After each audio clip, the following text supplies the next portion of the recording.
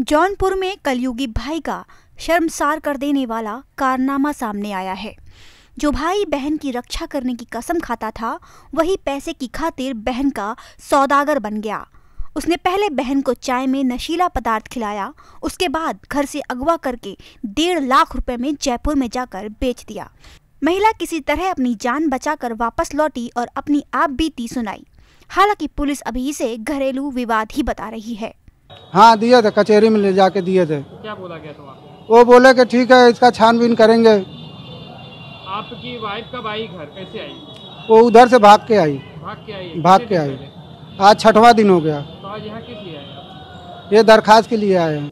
दरअसल ये इनका पारिवारिक मामला है जिसमें जो पीड़िता है उसने उस पक्ष ने ये आरोप लगाया है। लेकिन जो पुलिस की जाँच में निकल के आया वो ये आया है कि नहीं ये इस संदर्भ में जो मारपिटाई हुई, उसमें जो मुकदमा कायम हुआ है, वो है छः सौ सतहत्तर बटे अठारह।